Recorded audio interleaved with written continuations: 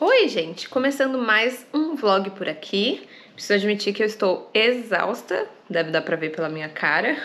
A gente tá vindo aí de duas noites bem difíceis de sono do neném, que ele ficou resmungando muito, acordando muito, enfim. Então eu e Matheus estamos bem cansados. Mas daí eu falei, quer saber, vou tirar o pijama, vou pôr uma roupa pra ver se dá uma ribada. E deu.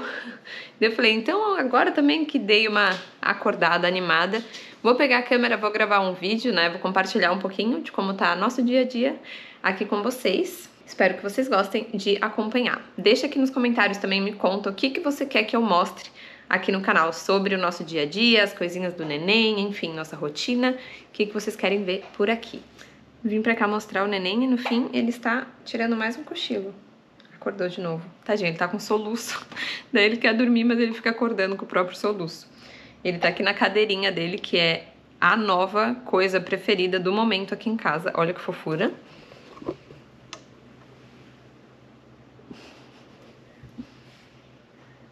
Essa cadeirinha é bem fofa, ela é super básica, é baratinha, é da Fisher Price e ela vibra e chacoalha um pouquinho, se você chacoalhar ela assim, ó.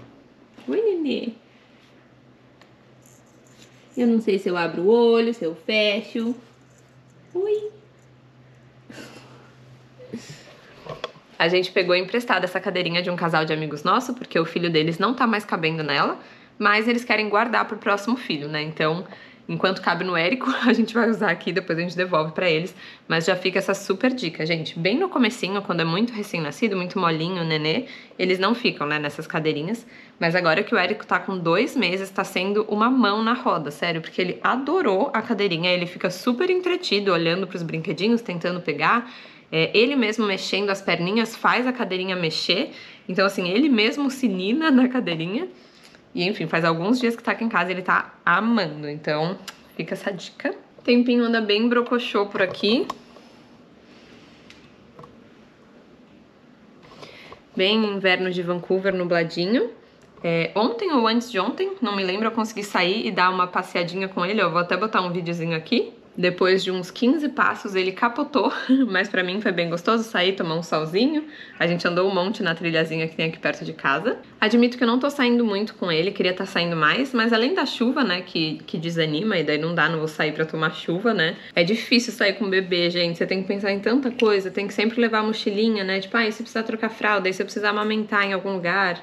E se vazar a fralda, precisa trocar de roupa, né? Muita coisa para pensar. Então, nesse começo, além dele estar tá sem vacinas também, né? A gente não saiu tanto de casa, mas espero, né, que o tempo ajude e que a gente consiga passear cada vez mais, porque foi bem gostoso esse dia aí que eu mostrei para vocês. Então, quero adicionar mais isso na nossa rotina, sabe? Para mim vai ser muito bom também sair mais de casa. E falando em vacinas, neném tomou as vacinas ontem. Eu fiz algumas imagenzinhas aqui é, da gente indo pra clínica e lá na clínica também. Então vou colocar aqui. Indo tomar as primeiras vacinas.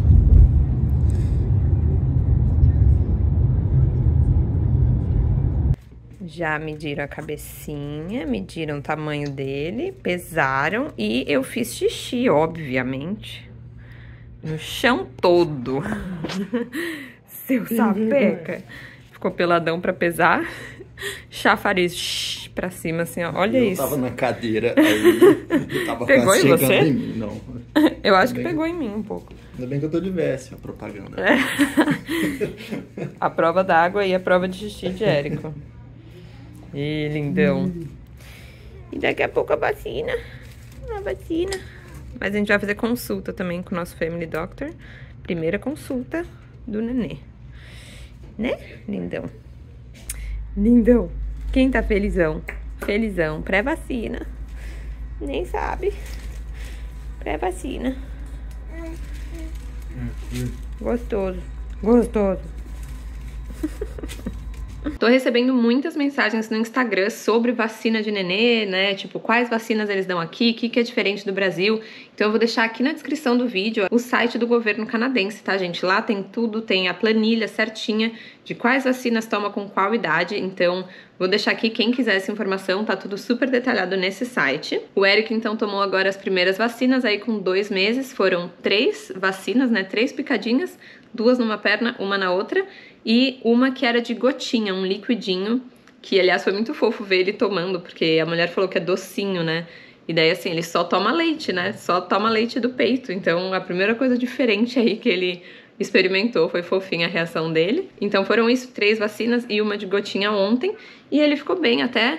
É, de noitinha ele resmungou bastante, ficou acordando bastante, não teve aquele sono é, de capotar, sabe, de dormir bem mesmo.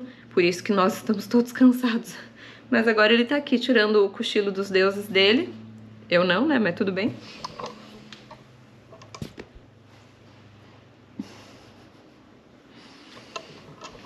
Não aguento esse bico. Mas enfim, é isso. Daqui a pouco mostro mais umas coisinhas pra vocês. Vamos almoçar por aqui agora e como sempre me pedem é, essa dica, eu vou mostrar aqui pra vocês. Eu pedi umas marmitas essa semana. Meus pais foram embora, né? Faz uma semana e pouco agora. Então eu queria ter comida em casa para facilitar pelo menos essa parte, né, do dia a dia, não ser tudo de uma vez só, eu ter que, né, fazer comida, supermercado, limpar a casa, etc, tudo sozinha de uma vez. Então a gente pediu comidinha no Two Guys with Knives, ó. Essa empresa aqui. É, o Matheus gosta bastante, ele sempre pede. Eu acho as porções bem grandes. Tem sempre opção vegana, paleo, é, low carb, enfim, tem várias coisas saudáveis e tem coisas brasileiras também, porque se não me engano, um dos dois é brasileiro. Então, sempre tem umas coisas tipo escondidinho, estrogonofe, essas coisas assim. Então, pra quem. Os dois são brasileiros? Matheus falou que acha que os dois são brasileiros. Enfim, então sempre tem opção de comidinha brasileira também. Então anota aí, chama Two Guys with Knives. Infelizmente não é uma parceria. Se quiserem fazer uma parceria, tamo aí. Mas é isso, bom para facilitar a vida, né? Então a gente tá com várias marmitinhas para os almoços e jantares da semana, que daí é uma coisa a menos para pensar por aqui. É isso, vamos almoçar. O Matheus já tá lá no sofá. Vem o Two and a Half Men. O Nenê continua dormindo na cadeirinha. E é isso, até mais tarde.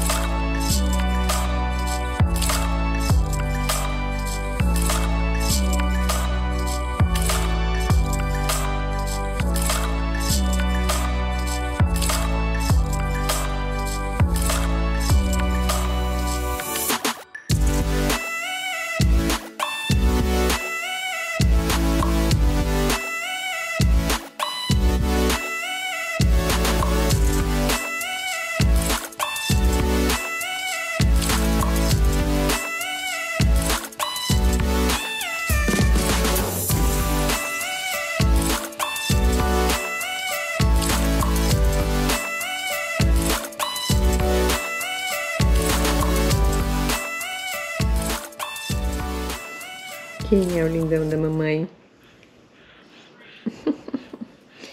Quem é o amor da minha vida?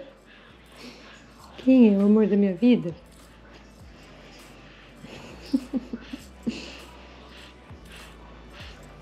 Gente, o nível de não aguentar mais ficar em casa chegou ao ponto de que eu vou passear no corredor com o neném agora. Cara do Matheus. Matheus tem live agora, eu passei o dia todo fazendo nada, tá chovendo, então eu não consigo passear lá fora. Eu botei o neném no carrinho e ele ficou quietinho, olha só que paz. Então eu falei, bom, já que eu não posso ir lá passear na natureza, porque, né, não para de chover nessa cidade, eu vou dar uma volta no prédio.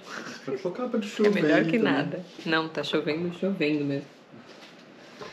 Enfim, vamos lá. Vou passear no corredor, entendeu? Dar uma volta, trocar os ares. Não. Vai a coleira, né? Só o neném. também. Não, ele não dá, ele não segue com a coleira.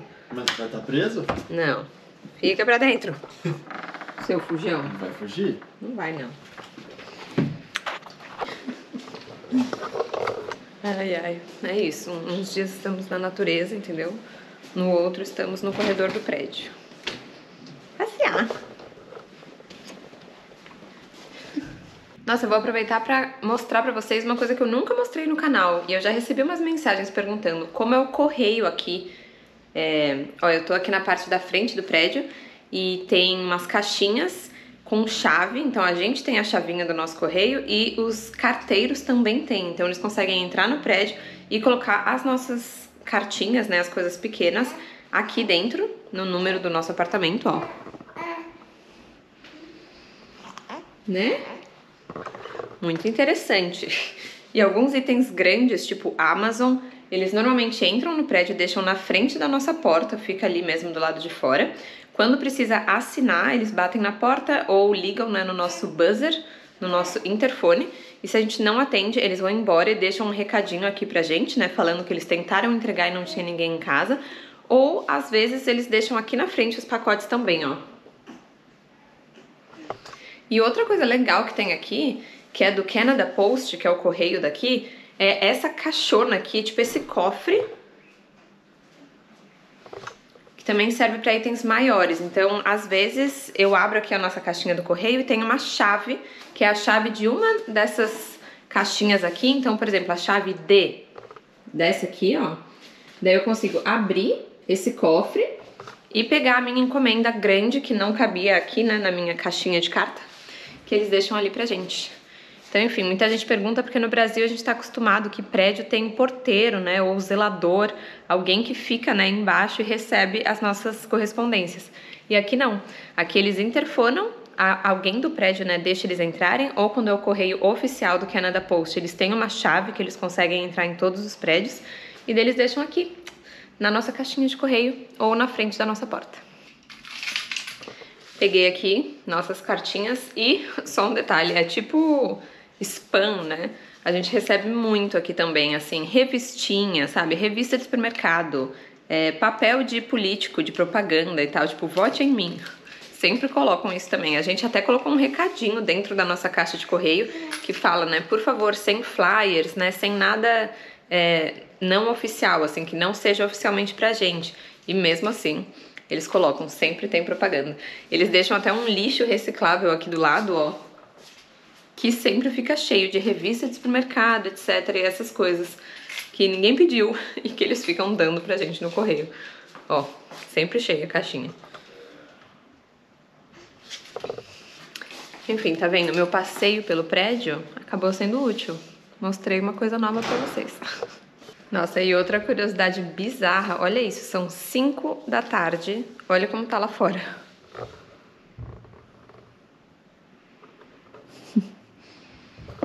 um breu total. Aqui no inverno é, amanhece muito tarde e escurece muito cedo. Ui. My dad, feel like Does Ryan Reynolds eat glass, eat or drink without swallowing? Is that your final answer? Are you Steve Harvey in this situation or not? have tattoos. Wow, that's interesting. I wonder. All right, next question. Sorry, a few. Gostoso. Gostoso.